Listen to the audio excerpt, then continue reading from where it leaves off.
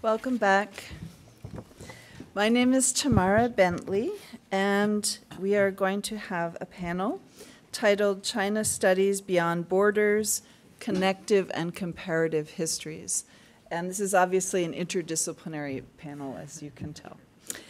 Um, I think the ideal way to start would be to have each person introduce themselves and a little something about their work that relates to either comparative history or connective histories. Marty doesn't have a name a name tag. but we thought that was sort of like Tao Yuanming playing the uh, chin without strings, so he doesn't need a name tag. so, um, Marty, could you just, each person has about three minutes to introduce one or two works that take these kind of approaches. Yeah. Yes, well, um, I suppose the, the uh, primary example would be the book that just, just appeared, uh, which is explicitly um, comparative, but in, I, I should say, in, in a way which I think is perhaps, um, I like to think is a little more rigorous than simply saying this is what they did here and that's what they did there. And to this, I, I, I owe a lot to Lydia Liu. I, I use her uh, translingual analysis uh, method where you let, say, Englishmen talk about China or translate Chinese texts, and then you look at, you know, how that works out. So um, that that book explores that method as well as uh, uh, what you might call transvisual analysis. What happens when they try to visualize something uh, from another culture? Um, the earlier instances of that, there's a little bit in the other two books. Um, but especially in uh, David Porter's uh, wonderful volume, uh, Comparative Early Modernities, I think that was uh, an instance where I tried that kind of method a bit more explicitly before, before the book. The subject of comparison and connection is one that I'm deeply interested in, and I don't know how I'm going to do this in three minutes. Also, I'll do it autobiography. I started out in English literature. I never took any Asian history when I was an undergraduate. Um, and I think I became interested in China because it wasn't the West.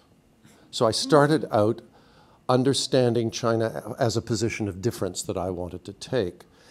Um, once I began teaching uh, at university after my PhD, I taught at the University of Toronto. I was the only East Asian historian in a department of over 50 people. Um, so if I wanted to have conversations with anyone, they had to be conversations that were based on a comparative framework. Um, and the students seemed to find that, find that interesting. That's in the 80s, at a, a, point at which comparison had been pretty much dismissed as a CIA plot, fair enough. Um, and we were now beginning to think about connecting, that you don't just put two things beside each other, but you look at the things that link those two things once you put them beside each other. And so that led me into global history. Um, as a graduate student, I was very interested in a kind of uh, Perry Anderson style structures of analysis that would that would bring the world together in a way that you didn't do comparison or connection. But then I've, I've gone more to the connective side of things. And uh, the talk I gave today was an attempt to think um, it's a book of 13 chapters. In every one of those chapters, I connect China to somewhere. And I, I, I don't allow Chinese history to narrate itself. It can only be narrated if you're narrating what it's in connection with. Um, okay, so um, for me, um, actually doing a comparative study is, depending on how you look at things, relatively new. Um, but with my uh, the Sino-Vietnamese tea project that I discussed yesterday, um, that one in particular uh, brings together a, a cross-cultural comparisons. And um, the, one of the reasons that I'm really interested in this um, is because it's a really way to look at something quite distinct and see how culture spreads and is adapted, ado adopted, adapted, or rejected. And so I think that's a really useful way of understanding uh, how, how the forces of culture um, can work on different societies. And um, the other aspect about it that I particularly enjoy is that by doing this kind of work, we get to learn more about each culture than we would have otherwise, and we that would have otherwise been accessible to us because the kinds of questions that occurred wouldn't have uh, uh, uh, the possibility of occurring uh, if we weren't doing this kind of cultural comparison. So I really think it's a, a wonderful approach, and um, yeah, that's me. That's you. Hi. Uh, I've been teaching comparative literature for a long time. I don't have a choice. Here. Uh, uh, let me begin uh, by just saying uh, uh, how Marty's work uh, is uh, deeply related to what I have been trying to do. Uh, we met in Berkeley when I was still teaching at Berkeley. Maybe that was, I don't know if it was the first time, the second time, but uh, in the late 90s, I believe. Um, so, and his work struck me as always being um, a, a exemplary of a, a cross-disciplinary work, and he asks questions that political scientists fail to ask, which is very interesting. But he asks questions about politics. Um, his, his, his earlier work, uh, first book, Art and Political Expression in Early China, uh, and, and also his uh, Pattern and Person. Um, it is always uh, uh, about these uh, uh, fundamental issues in a society. Um, and then I, when I met him, and we would have a conversation, and all of a sudden he would give me a few lines of Su Shi's poem, which uh, really uh, uh, um, uh, very enduring because I'm in literature and he, he was just, uh, and, and then I found out after I moved to University of Michigan where I taught for five years, um, starting from 2002. Um, he actually memorized a lot of Song um, poems, 诗 and 词. And so he crossed over into literature, and he was he's, he's an art historian, and he's uh, deep, deeply committed to clarifying some political issues, authority, equality, uh, problems of justice, and these are enduring concerns in his work, with which I ide- identify very much. I didn't talk about my own work, but I, I do uh, uh, um, uh, have uh, one last thing to say about our connections. We have been friends and interlocutors for a long time. And then he involved me in one of his pedagogical projects uh, a, a, long time ago. I think uh, it's still housed i- at the Center for Chinese Studies called the China Mirror Project. And, and at this conference, we haven't really talked about Marty's pedagogy, which is very, very important. And he, one day, he asked me, he said, Oh, we got an NEH grant. Uh, we're going to do some public outreach. Can you write a module for me? I said, He says, each module would concern an object. And I said, What object can I bring? And then I said, Why don't I write about how to read a treaty? So then, so that started. I, I found out that it's still there uh, on the website. Um, uh, Marty's first, uh, you wrote a module on a Han mirror, right? Okay, how to read a mirror, how to read this and that. So, and he went out of his way when he was in Taipei to get the original treaty. This, this is a, mm, Article 50, uh, 51 of uh, uh, the Treaty of Tianjin. He got the original and he uh, uh, scanned it and then put it on the website. And so here's an art historian dealing with texts and texts having to do with international politics. So, okay, so I took up more than my three minutes. So there you go.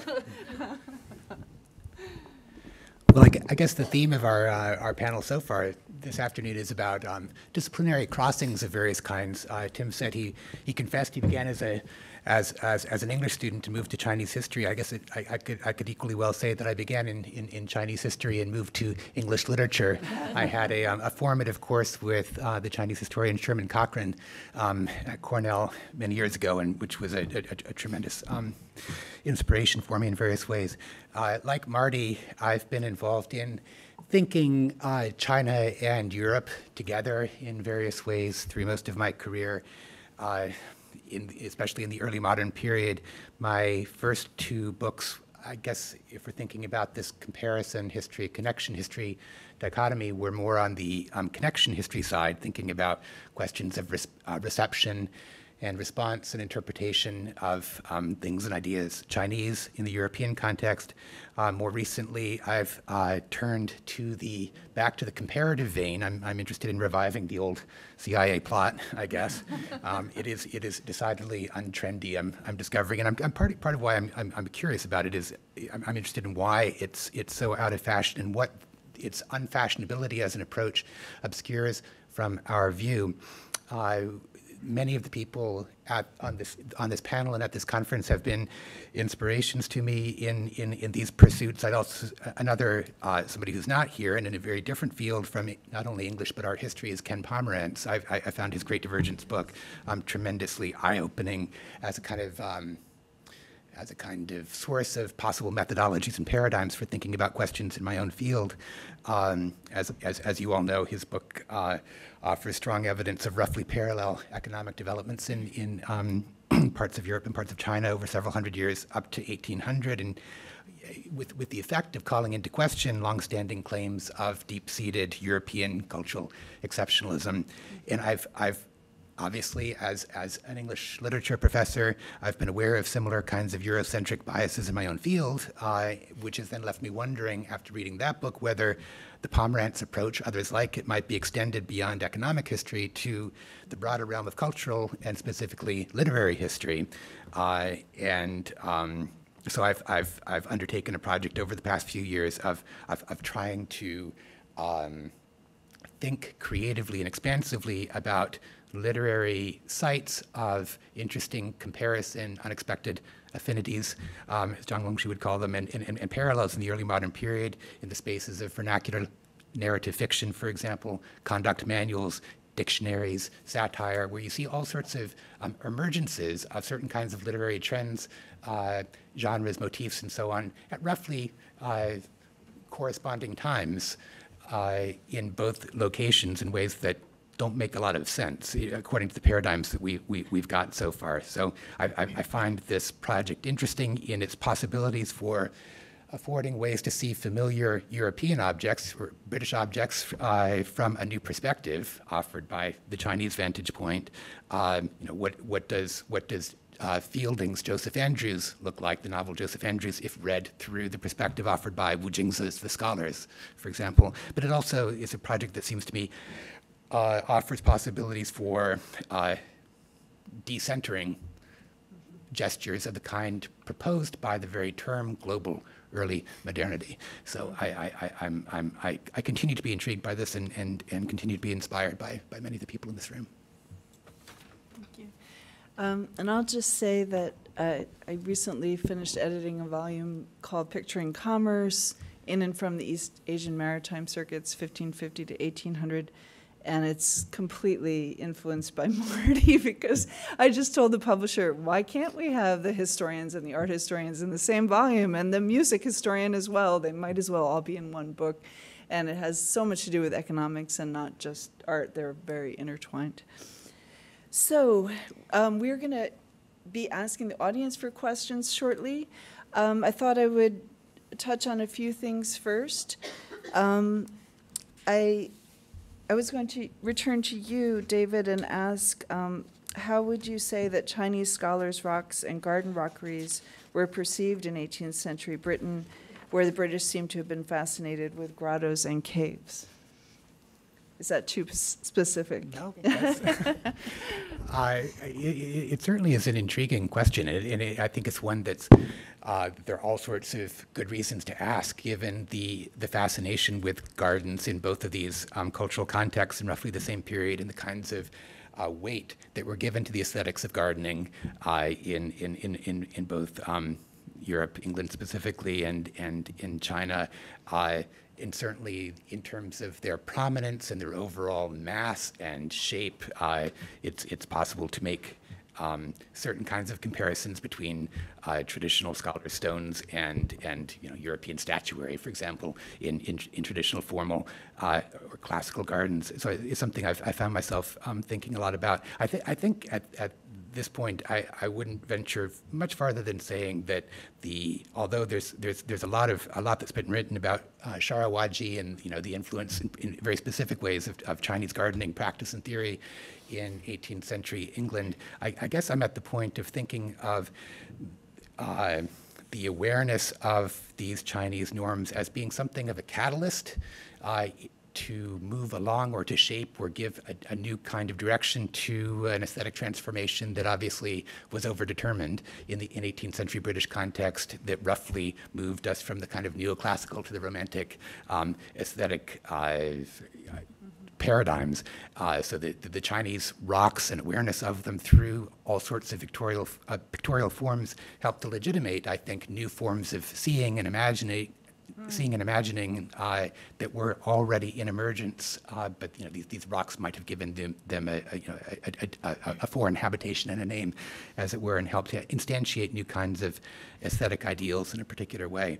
Um, I guess the, the, the one place where I would stretch that um, answer just a little bit would be to suggest that the history of this assimilation of Chinese gardening practice into 18th century British cultural norms um, may have contributed, among other things, to the emergence of a British aesthetic nationalism that we associate with the later 18th century and early 19th century. I think there's a kind of backlash that we can um, point to where, as British who are increasingly concerned about their own aesthetic identity, their own, the aesthetic dimensions of their national identity begin to repudiate in quite explicit and sometimes frustrated and angry terms the signs of, of, of, of, of foreign effects on the way that they're seeing the world.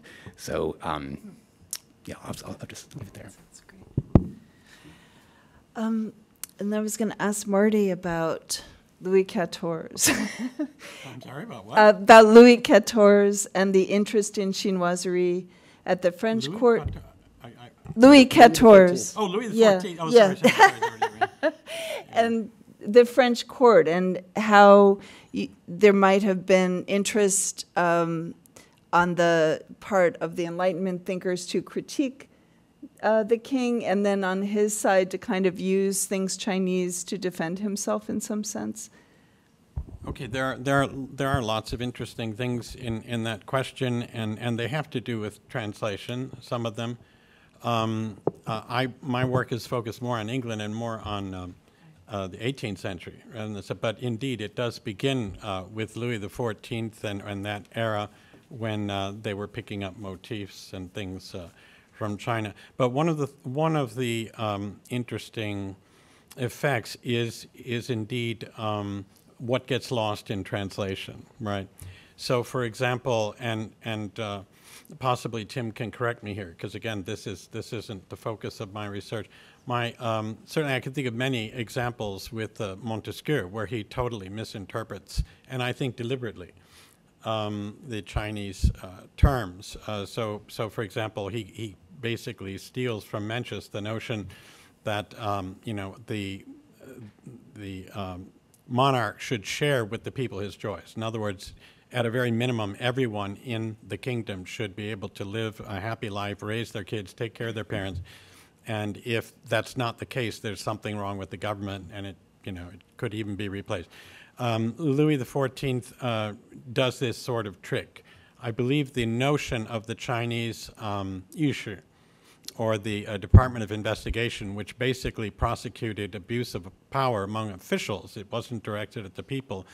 Um, uh, if I could be mistaken, but my memory is that Louis turns it around and says, "Oh, that means the king needs to have spies." okay, so we're gonna we're gonna have spies. That's right. I got all these spies working for me. Well, that wasn't the idea at all. It was just it was just the opposite of that. Right. So, um, and likewise, uh, we find um, misreadings of Chinese gardens, where again, you because you not because they're French and not because the Chinese are Chinese. Uh, this, as you know, this is one of my themes. It's not about culture. Actually, it has more to do with structural features and institutions. But uh, China was a post-aristocratic society by then. So, um, if you had a garden, the point wasn't to show your grandeur or your majesty it, was more about uh, subtler aspects of taste and choice and so on. And, um, and the French tend to uh, totally misinterpret that. I mean, Lecomte, for example, he says the Chinese have no sense of uh, ornament. You know, they, they don't understand ornament, by which he means parterres and statues and things that make you look really grand. Um, and and you know and and and they're you know they're, not much given to ordering their gardens. You know, so he just totally misunderstands uh, how this works. But then again, it wouldn't be long, you know, uh, as David has shown for England, and. Uh, in France, where they start to use these things for very much for their own purposes. Again, uh, I, I would just like to make it as a matter of record that in, in this entire book, and in fact, in fact, I think in all my books, the word influence never appears. Okay, so this isn't one of this isn't the frame I'm talking about. We have a, a, a mixing and blending, which is uh, very interesting. Well, I have a quote here from Catherine's book. I've got Catherine's book, Dimensions of Originality, uh, Essays on 17th Century Chinese Art Theory and Criticism, for those who haven't seen it.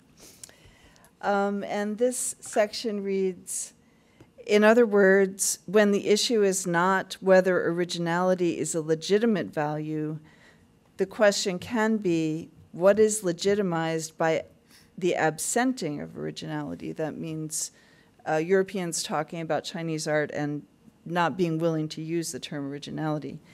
If one accepts modernist critics' claims that originality and its related concepts of difference, newness, and contemporaneity are the sole domain of the modern West, then the absenting of originality in China consigns China forever to a non modern realm where it remains securely the object of Orientalist and Occidentalist fantasies. So, Catherine, I wanted to ask um, whether your situating of this discourse around originality was partly speaking back to that kind of um, subjecting China to forever being Right. backwards and non original. Thank you, that's, am I, am I live? You press the button. Um, Thank you for that question, and um, here I want to say thank you to Marty for helping me see uh, much of that argument. Um, Indeed, um, a, one of the things I like in research is to find an issue um, and uh, discover that there's something absent, and then try to understand why something is absent. And in this case, um, uh, in that, in this case, as I built my argument, I drew very heavily on Shu-mei Shih from UCLA, who's a literature com- comparative literature scholar, perhaps. Um, and she did this brilliant, sh- thank you, um, and did this really fine work on trying to analyze May 4th thinking. Um, and what I found was that her analysis of um, understanding how the May 4th thinking was constructed um, privileged uh, the con- the contemporary Euro American West, and I, I myself am loath to use the East West dichotomy because it's doesn't make sense to me. Um, but the Euro, uh, it privileged the Euro American West as modern and uh, active and virile and progressive and uh, completely um, denigrated the Chinese traditions as um, backward and feminine and uh, uh, effem- uh, effeminate and uh, placid, et cetera. And um, and one of the things that was really fascinating with that discourse was that it was so well accepted in the literature uh, of the Chinese on both sides of the Taiwan Strait, and then in uh, the those scholars um, like most of us who read that literature and find it very worthwhile, and then it, it you get it, it absorbs into the discourse, um, and then it was followed by Cold War ideology um, in the uh, America and post and World War II allied powers um, to position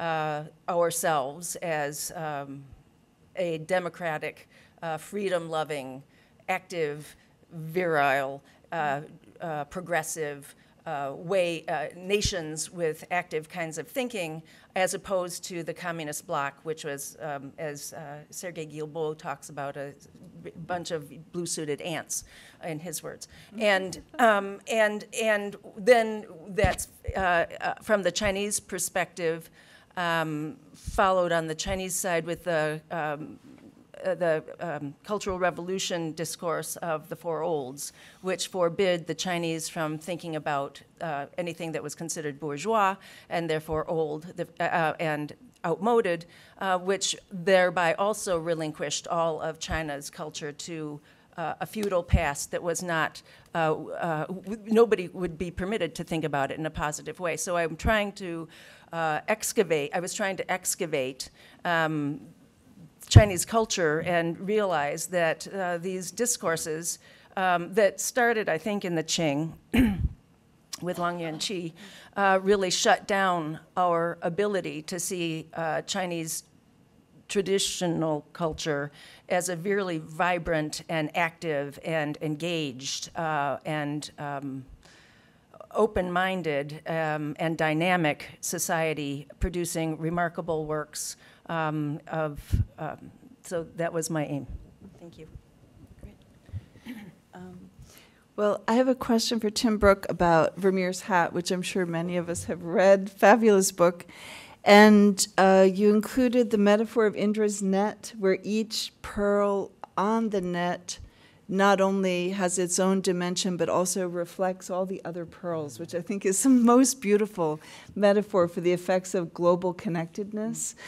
Um, and I also was so impressed that you were stimulated so much by the visual material that that's what drew you into your discussion. I noticed that today as well.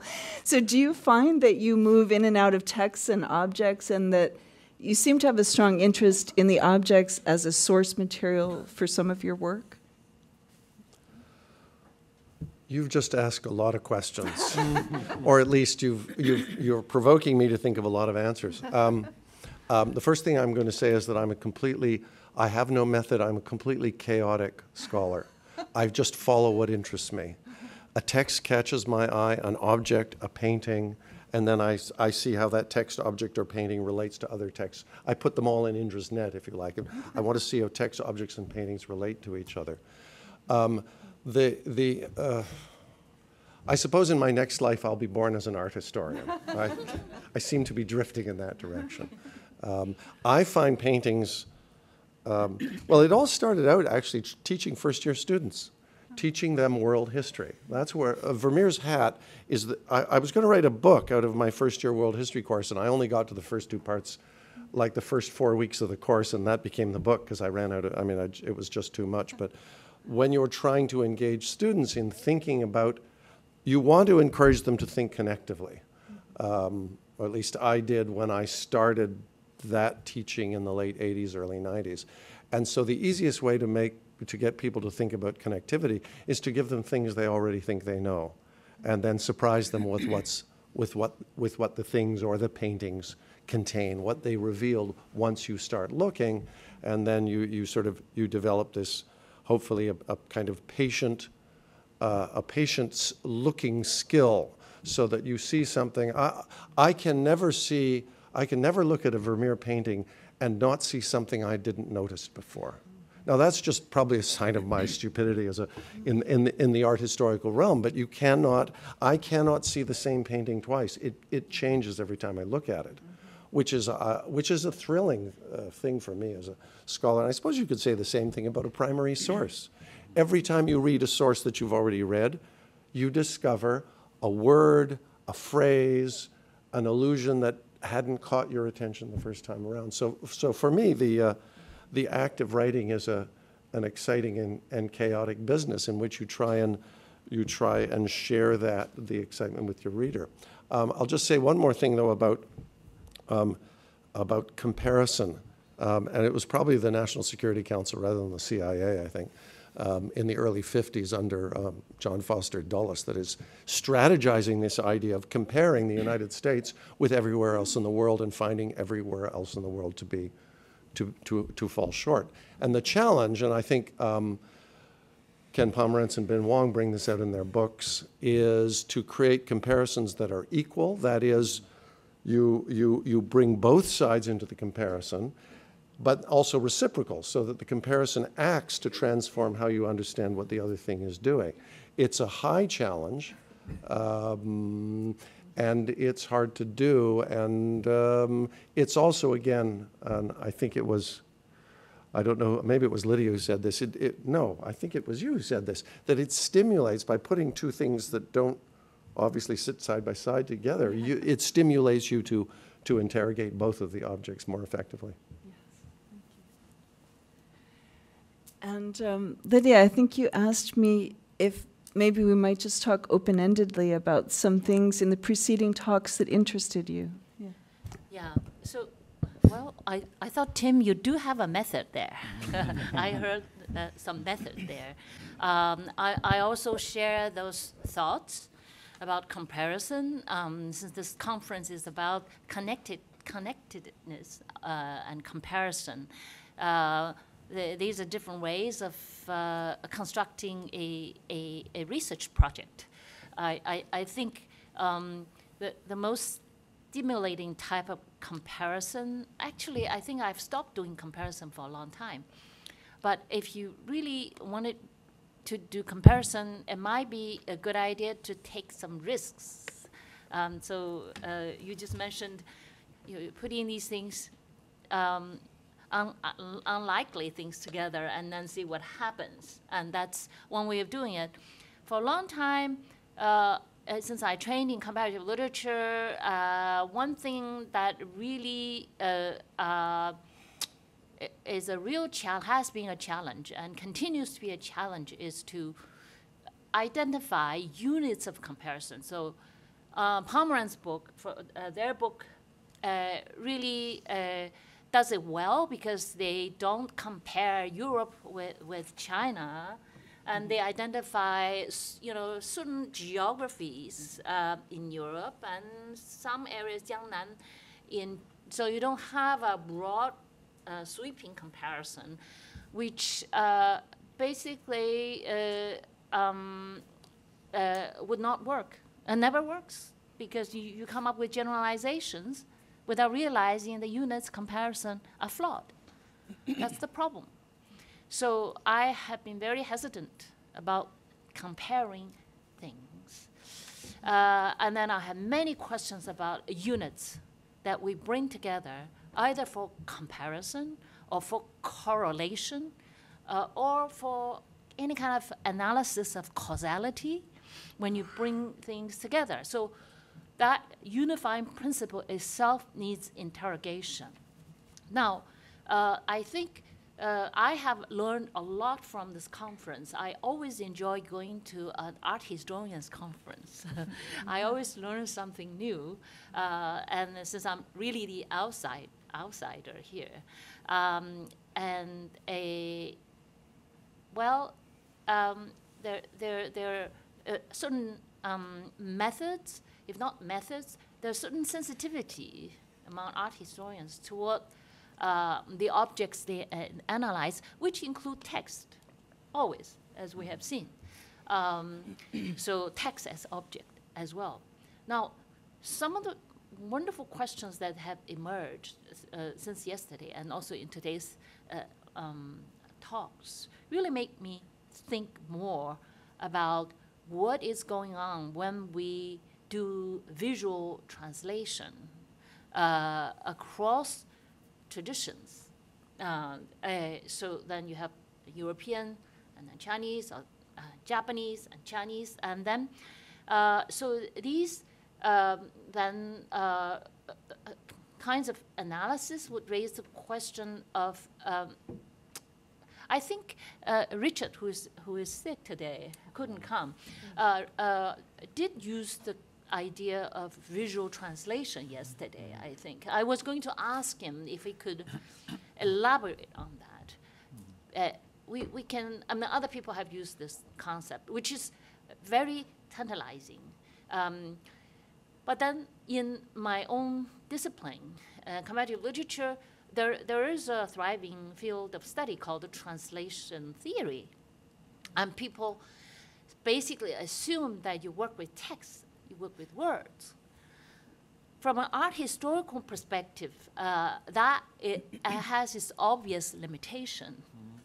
But on the other hand, if you, then I would put, for instance, a question to art historians. When you think of bringing disparate um, art objects together for comparison, even if not across national borders, um, and then you would be implicitly or explicitly constructing uh, commensurabilities. Even if you, the, the goal is to point out dissimilarity. But by bringing them into a relationality, you're already doing some work of translation that is uh, uh, uh, uh, uh, assuming uh, commensurability there. Uh, so then, if we think of translation not just as a metaphor for uh, some kind of a transformation, not as analogy, and if we uh, want some rigor in our think, theoretical thinking about what goes on um, in what Marty just uh, uh, uh, uh, uh, said, uh, transvisual or uh, visual translation, they're two different things. Um, so then, uh, in uh, translation theory, this is an open question. Uh, there, there's a lot of uh, contentions surrounding translatables, untranslatables. What, one last thing I wanted to say is that uh, the question uh, of different semiotic systems of value uh, uh, comes up all the time because it's the systems of value that determine the similarity or difference. It's not the other way around.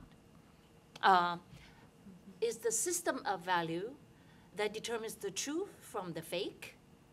So the meanings are generated in always in a historically situated articulation of specific values. I hope it was not too long, the sentence. A specific situated articulation of specific values in relation to other values. And always we can't escape a certain uh, system because it's all it, things come in multiple, never alone, and also in relation. and so I think that is the challenge. I hope it's not too abstract in our approach to either um, text, uh, uh, image, or objects. Uh, and I think these challenges to people in uh, uh, translation theory, also, also to uh, historians, art historians, basically as to how do we even conceptualize that ground of uh, uh, comparison. And maybe connected, connectedness is one way uh, uh, uh, getting around the problem, but not really i- tackling the problem. So I just uh, throw that question to this audience and see what happens. Well, um, I thought I might ask Marty about what would you think of as the structures in England and in China that allowed for the concept of equality under the law to emerge in those two cases in, in your study? Oh, boy, that's a big one. But it, um, it, it does get to what Lydia was just talking about. Uh, One of the things I try to show in the book is that um, the radicals in, mainly in 18th century England, were facing problems that were not terribly dissimilar from those that um, they were reading translations of Chinese texts, political documents, policy documents that had been translated first in French, then into English. As far as I know, no one's ever looked to see if the translations were any good. I have. And uh, for, they're remarkably good, actually, if you understand 18th century English. There are some things they leave out, there are some things they didn't get. But, um, but they, they did get the fact that these guys were writing about problems that they shared, okay? And another premise of the book is that issues of equality are, are structural. There's a sense in which I think it, it factors into any society. In fact, uh, Frans de Waal has this, um, this, uh, vi- this video on, on YouTube, which you may have seen. It, it's, it's very, very popular, where um, he conducts an experiment and he gives a, a monkey, he has two monkeys, each with its own cage. If they give him a rock, he gives them a cucumber. And so they get used to this. They're doing work. I give you a rock, I get a cucumber. Suddenly, he gives one of them uh, a, a grape. And so the other one immediately goes and gets the rock. Give me one of those too. He gives him a cucumber and he throws it at him and, and shakes the cage.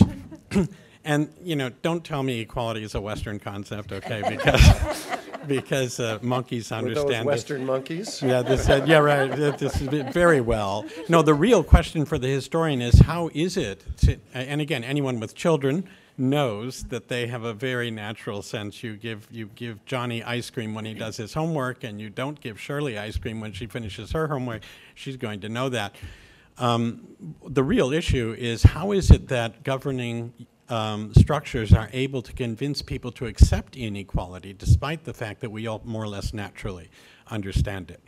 So in any case, uh, in, in England and in, in this case in Sung China, most of the texts they were reading were from Sung China, and there are some really brilliant progressive uh, essays. These are these still come across as progressive even today, and people like Samuel Johnson are are reading this, and they're saying, "Whoa," you know, like, "Oh, this is pretty interesting."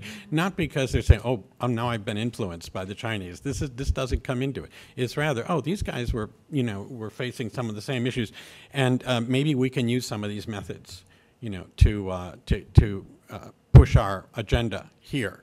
So, and, and they say explicitly many times that, that we share with them these values. Uh, the notion that we do not and never could share those values uh, comes much later, largely with Hegel. Uh, you could push it back to Montesquieu, I suppose, but you don't get a lot of that in the 18th century. It's more of a 19th century construction, the notion that everybody, uh, different races have different Volksgeist, Geister, right? And, uh, and, that, um, and that people are incommensurable. But again, in order to, to, um, to make any kind of comparison, you have to first establish that, that you've got your units right and that you're comparing the same thing. So I try to uh, find the situation where these people are doing the same kind of work with, with their heads. And in many cases, they come up with very similar um, conclusions, even when they haven't read one another, even when they. I'll give you one more example. I think it's really wonderful. This is from Spectator. Uh, Joseph Addison um, was um, arguing against the practice in England at that time where, where if someone, say, suffered from a flood or, or from a uh, shipwreck or something like that, this was seen as a punishment from God. Can you imagine that? People thinking that someone suffering from a misfortune like a flood might have been punished from, by God. In any case, he uses logic to overcome this, th- this error, and he basically. s- argument was still used in the age of AIDS. Yeah, oh, well, it's still used now. I mean, uh, some parts of the But I hear that that argument is now used against CIA. Okay. Well, in any case, Addison, Addison would argue against it, and here's how he did it. He says, well, look, let's say a ship sinks. There may have been some sinners on the ship, but, but surely there were some people who were not sinners, right? So this is ridiculous. It's just natural chance. And so he uses a reductio form of argument. This is called a reductio ad absurdum, right? Well, uh, Ouyang Xiu, writing in the 11th century, which um, uh, he, um, again, someone had taken an axe to a statue in a temple, and a few weeks later, there was a flood that killed thousands of people, and everyone's going around saying, oh, the, the god, you know, from the temple uh, was angry and punished us. And so Ouyang Xiu publishes this essay, and he says, okay, let me get this straight. You mean to tell me this god had the power to kill thousands of innocent people, but was unable to defend himself against one guy with an axe? Come on, right? So again, he's using a reductio. It's exactly the same kind of argument, and there's no way that Addison knew about Ouyang Xiu. He wouldn't have known about that. That at least not that essay. Uh, so anyway, this this is the kind of um, I suppose the, the approach I've taken. Can we take some questions from the audience? Go. I think one of the uh, issues that is, people have found very difficult to engage with, uh, and I think it, oh, sorry, one of the issues that, is this on? Is this, is this? It's not on. I think one of the issues people uh, find it difficult to engage with is the extent to which uh, nature provides fundamental datum, fixed bases from which everything has to be based upon what is already there in nature. So wherever you, if you live on top of an oil well, or if you live in, in on beside a, a flowing river or whatever it is, this is is going to have a big impact on on you, and it's an endless source of structural inequalities which you can compensate for, etc. But in my in in my sense, people avoid acknowledging the, the constraining influence of nature because it makes them feel uncomfortable, because it makes us feel less free. It, it denies our freedom. And I think because of, because of we worship freedom as being a primary quality, we say everything has to be based on, in, on, on freedom as the most important basis of everything.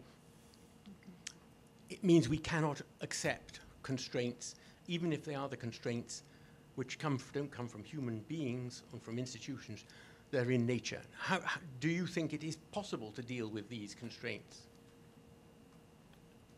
Are, you- are you talking about global warming? Mm-hmm. And- As I say, literally every single, if you, uh, if you live in a particular place with the environmental, the environment constrains you in all sorts of ways. Uh, and I'm just saying that that's, that's something which is, in, in my view, in the history of culture, as it's written nowadays, it is very rarely uh, acknowledged. Um, Can I respond to that? Um, I, I- I I see the question, I think I deal with it somewhat differently than you would. I'm interested in, in um, um, uh, when normal conditions become abnormal um, under uh, climate change, um, epidemics, um, food supply, when people's, no- what, what, what people normally expect, when that is not possible or not deliverable, then they have to respond to that crisis in their, their ecological crisis. And one of the reasons I think why connective history is able to sort of join comparative history in the last decade or so is because more scholars are taking a global perspective. So that if temperatures are falling in London in 1587, uh, temperatures are also falling in Beijing in 1587. And both those societies have to work out what to do as expected conditions are no longer expected.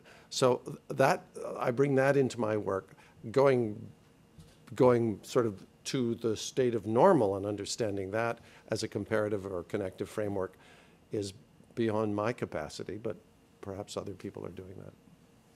Yeah, but I think, I mean, I think that's a very good example, I think, of the way, uh, for instance, in, um, I mean, working with neuroscience, there's endless work on um, therapies dealing with people who have deficits, you know, strokes, um, congenital abnormalities, uh, and the literature on that is, is, is, is enormous, and, and there are, the society is prepared to invest enormous amount of money in trying to compensate for those, those. What is not acknowledged is the fact that regardless of those, there are fundamental given differences. I mean, I happen to be colorblind. I mean, and, you know, and I was told by a, a Dutch doctor that I couldn't have a job as an art historian because I was, uh, was colorblind. I mean, he, for him, it was an absolute, an absolute bar, and it's, but, uh, because it's complete nonsense. I think we can get round all the abnormalities, but the, the, the, the, the, the fixities are the ones which people, as far as I can see, find it very difficult to engage with for, for, for them, for, because of moral and political and social concern. And I, I, do, I, I think we do need to have more of a debate about that.